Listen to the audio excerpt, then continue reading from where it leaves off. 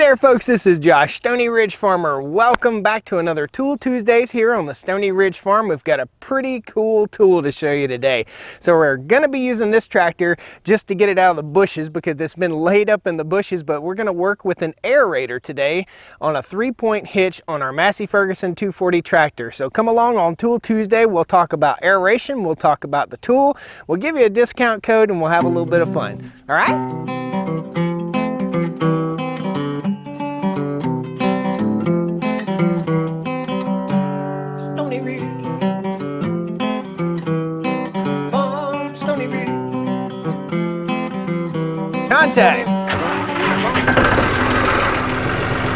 These are a bucket mount pallet fork system right here. There'll be a coupon code in the video description there too. These are also from Titan Attachments. In case you didn't notice, we've got a little deal worked out with Titan Attachments. We'll use their attachments here on the farm and they've agreed to hook us up with coupon codes for everything we use. That's pretty cool for you guys.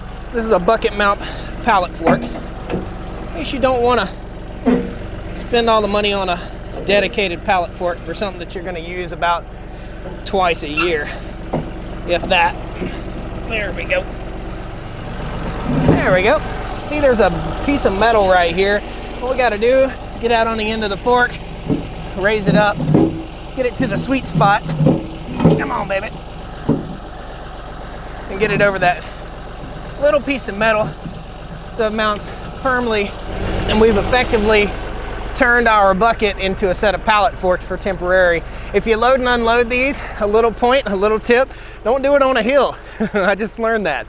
Set them down in a flat spot. When you get ready to load them and unload them, all you gotta do is pull under, lift up, and they're on there. Really quick, really simple, really fun, but this isn't the tool for Tool Tuesday.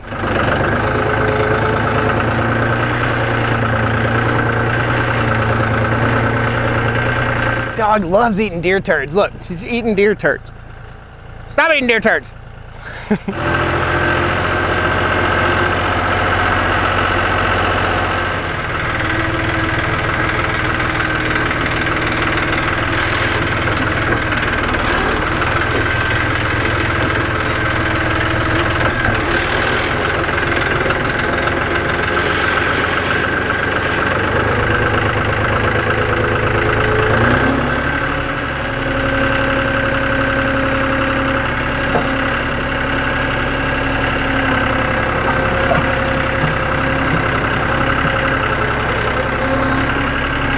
most time when you order something like this online, it comes in in a crate surrounded by a metal box.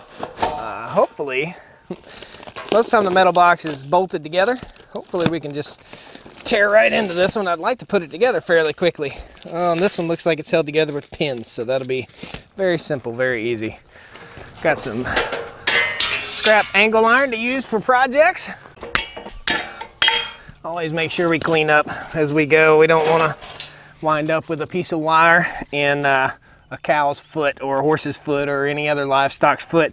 These little pieces of wire like this can be very dangerous for a animal that has a hoof. All right, I'm not reading instructions just like a normal American male would do, but there's a kickstand that comes with it. I can pretty much see that that's the kickstand. We'll pop out the pin, drop the kickstand in place. That'll make it easier for hookup and detaching later on. And I believe there has got to be a way for me to hook this behind the Ventrac while I'm mowing. So I'm actually doing two tasks at one time. I'm aerating and mowing at the same time, but we'll see. The bolts are already in place here. And basically all we have to do is mount our three point hookup.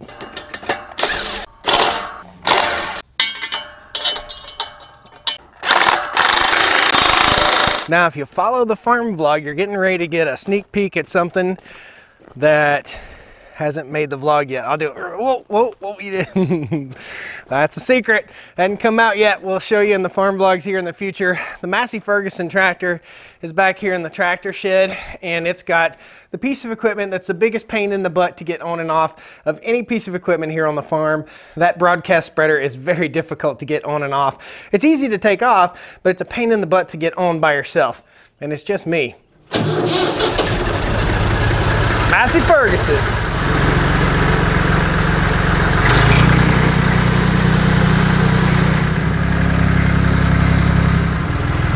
Set it down in a place. We shut the tractor down. For disconnecting our PTO shaft, we want to shut this tractor down. Do not want to endanger myself. PTO shaft to be the first thing we take loose. Guys, it is straight up yellow jacket season here on the farm. If you don't know what yellow jackets are, they're mean little bees that attack you. They're actually wasps, but we call them bees. There may be a nest over here. Might have to move fast. Let go. Please, God. Please let it go. Thank you. Woohoo! Yeah, baby. Now this implement is not very heavy. I can easily roll it off of its stand that it came on so we don't have to wrestle with this. And we'll have to fill this guy with water. I'll show you how it fills with water. It's got to have some weight to it in order to push it in the ground. So a lot of implements are really big and bulky and hard to handle. This thing is gonna be super duper easy to hook up and super duper easy to handle. All I gotta do is pull my pins. I'm actually gonna lift up here, take my kickstand, flip it over, or however I need to do that. Actually, the kickstand just slides up and out of place here. And I'll bring it back down and we'll be lined up just drop a pin into each. Ouch! Steel toes are a must on the farm, by the way. Come on, baby. There we go. It's so light without any water in it that uh, it's wanting to roll back on me. There we go. Okay, so one of the arms on the tractor is fairly stationary. This one is, and the other one floats quite a bit.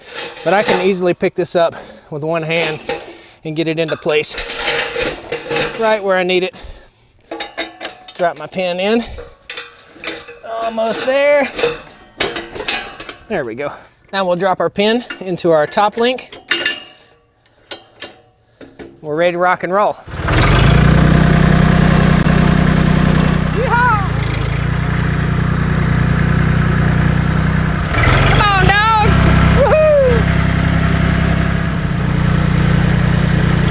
So in order to it with water, there's a plug. We gotta make sure that this plug is up top and we'll fill it up with water. Basically, we just take a, a adjustable wrench and open that up. This is a five foot aerator. It's not a plugger, it's an aerator and it's got three inch tines in it. And we'll talk about the benefit of aerating your pastures and your lawn as soon as we fill it with water. Take our adjustable wrench here and we'll remove the plug very simply.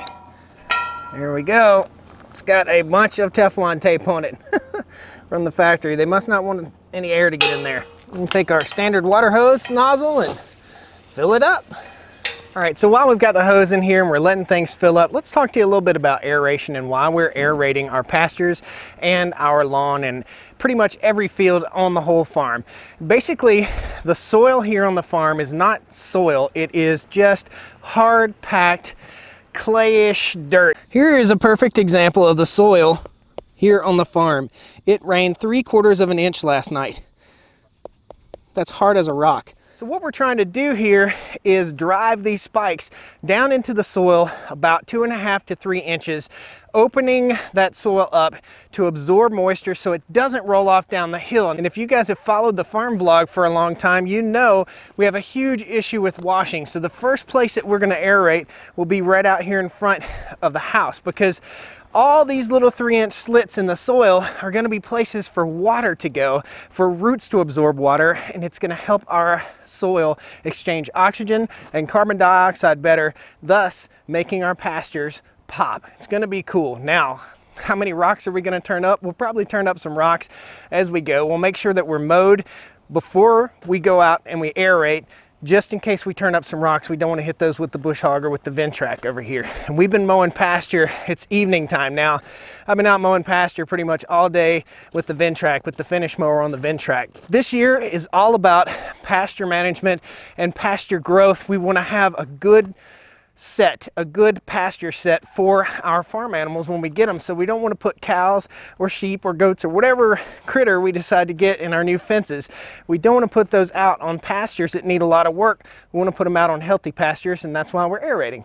Cool? I think it's full. I walked away for a minute. Oh, let's put that in there. There we go. Get her maximum full, as full as we possibly can get it. Oh, and it's sinking into the gravel right now. this thing's gonna be awesome. It might be, I'm gonna say it weighs probably 250 to 300 pounds, maybe more than that. Now, when we get done with this for the year, we will drain all the water out. Basically, we'll just flip it over and drain all the water out. Pretty simple, pretty cool, fun little tool.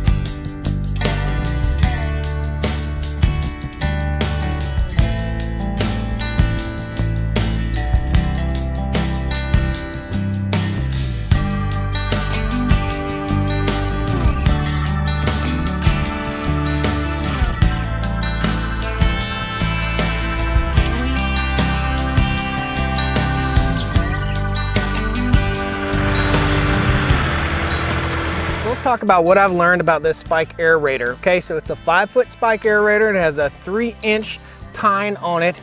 I learned that as I go around a sharp turn, I need to raise it up out of the ground or it turns it into a disc harrow. so it'll tear up your ground pretty bad if you do that. Now, is it hurting it? Probably not, but if you run over it multiple times like we did back here on a spot that wasn't so hot, we basically turned it into a disc harrow and you run the risk of bending a tine. So the tines will pick up roots and they'll turn up rocks. If you've got some rocks down just below the surface, you can run this thing at about eight to 10 miles an hour. So we were in low four, but we probably could have ran in high three. In other words, you can move on with this thing. As long as you're getting good penetration down to the drum, you're in good shape. So I really recommend using this after a rainstorm. In other words, not after when it's muddy or anything like that, but after the rain has softened the ground up. And you can use your best judgment on that so that you get the full three inches of penetration and you're opening that soil up and allowing for that oxygen and carbon dioxide exchange and also for water. So what we want to do is we want the water to stay where it falls. We don't want it to hit the ground and run off down the hill. So that's what this thing does. It provides little cavities for water to get in, provide water, nutrient, sunshine, and build soil. It's gonna be awesome. Guys, thanks a lot for joining me here on the Stoney Ridge Farm. If you wanna follow the vlog and watch this farm grow, I encourage you to pound that like button, pound that subscribe button, and come on back and see us. We got a lot more fun stuff here on the Stoney Ridge. Thanks a lot. We'll see you next week. Woo! Well, come on down to the Stoney Ridge. Bring your wife bring your kids. We're living life pure and sweet. That's the way it's supposed to be, Stoney Ridge.